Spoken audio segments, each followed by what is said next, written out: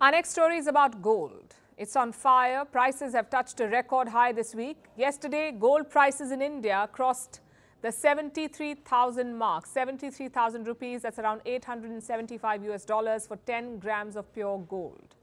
At the beginning of this year, the price was hovering around 65,000 rupees, almost 780 US dollars. So India has seen a sharp increase. What about the international markets? Same story. Globally, gold prices are up by over 16%. And what's driving this rally? The world's central banks, they're buying gold in large quantities and they've been at it for a while. It started with China almost two years ago. China's central bank is called the People's Bank of China or the PBC. It has embarked on a gold buying spree. And how much gold have they bought? 225 metric tons in 2023 alone. Beijing bought more gold than any other central bank last year, and Beijing is not done yet. From January to April, China added more gold to its reserve. In fact, since November 2022, they've been piling it up. As of today, they have more than 2,200 tons of gold. China has 2,200 tons of gold.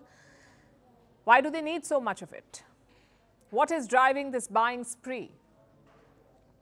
Fear, perhaps. Recent geopolitical tensions, specifically what happened with Russia. When Russia invaded Ukraine, the West cracked down on Moscow's reserves. They went after Russia's financial assets. These assets were being held by Western institutions. We are talking about some $300 billion. Russian wealth controlled by the West, $300 billion.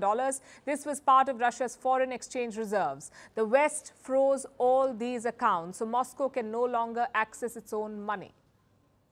In fact, there's also talk of giving this money to Ukraine. It's been proposed many times. Give this blocked Russian money to Ukraine. So far, Western powers have resisted. Irrespective, Russia does not have access to its money, and Beijing sees this as a cautionary tale. So it's losing faith in Western financial institutions and buying gold as an insurance, a potential hedge against Western financial instruments, like the American dollar. China still holds a large reserve of the American currency. As of last month, they had over $3 trillion. So Beijing has not completely given up on the greenback, but it's diversifying. And it's not the only one doing so. Diversifying reserves and stocking up on gold. Other central banks are doing the same. From June last year to January this year, at least five other central banks bought gold for eight consecutive months. And which are these banks? Turkey, India, Kazakhstan, Jordan, and the Czech Republic. Each of them bought more than one ton of gold recently. And in this list, India stands out. Its gold purchases have surged, touching almost a two-year high last month. In recent months, India has bought more than 13 tons of gold. So how much gold does the Reserve Bank of India have? More than 800 tons as of January 2024, 800 tons of gold with the RBI. This is believed to be worth more than $50 billion. Now, India's overall reserves in March stood at around $645 billion. And given this number, 645 billion, the value of gold reserves may not be significant. But its, its rise is, and there is a clear shift. Central banks around the world want to cut risks. They want diversified reserves, where they don't have to depend on a single currency or instrument. So if you're looking to buy gold, to invest in it, what should you do? Is it a good time to buy?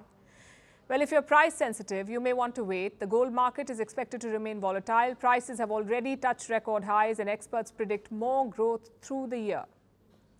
Banks like JP Morgan predict a peak next year in the second half of 2025. So if you're planning a major gold purchase, if there's a wedding in your family, or if you're just looking to park some cash, chances are you'll have to shell out more money. But if you're just looking to make a quick buck, exercise caution. Just like the central banks of the world, don't put all your eggs in one basket. Think about diversifying your portfolio.